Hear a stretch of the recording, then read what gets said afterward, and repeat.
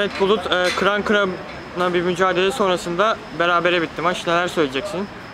Valla galibiyet için yapılması gereken şeyi yaptık. Zaten maçın başından beri bir kişi eksik oynadık.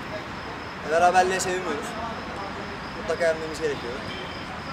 Maçın sonlarına da arkadaşlar da herhalde 6 kişi kalınca bir can avlığı geliyor insana takımca. Onlar da mücadelesini arttırdı. Denedik olmadı, yapacak bir şey yok. Önümüzdeki haftada mutlaka galibiyetler almamız lazım. Hedefimiz zirve. Takımı. Teşekkürler. E, evet, kıran kırana bir mücadele sonrasında eksik kalmanıza rağmen beraberlikle ayrıldığınız maçta neler söyleyeceksin? İyi akşamlar. Rakip takımı e, kutluyorum e, mücadelesinden dolayı. Arkadaşımızın haksız yere atıldığını düşünüyorum.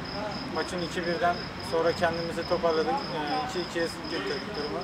Dediğim gibi e, arkadaşım haksız yere atıldı. Yok yere e, karşı takımın da çok atılması gereken bir oyuncusu vardı. Hoca çok dayandı ona. Saygı duyuyorum gene bu kararına.